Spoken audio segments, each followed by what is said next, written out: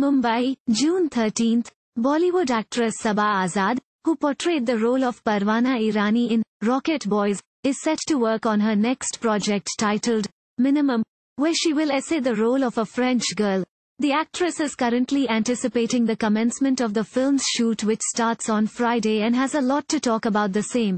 She said, It's been daily classes for my next project, Minimum. I really hope they pay off. The biggest perk of cinema are the new skills you get to learn along the way. The film commences shoot on the 17th of this month. In the meantime it's been amazing to be back on the road with my band, Mad Boy, Mink, since the COVID restrictions eased up and live performances and music festivals restarted. We're working on a music video to be shot and released after the shoot for Minimum concludes. She added. Saba recently grabbed Heed Lane Naya. S as she walked with her rumored beau Hrithik Roshan at Karan Johar's birthday bash. Thank you for watching. Please subscribe to channel and click on bell for more daily videos.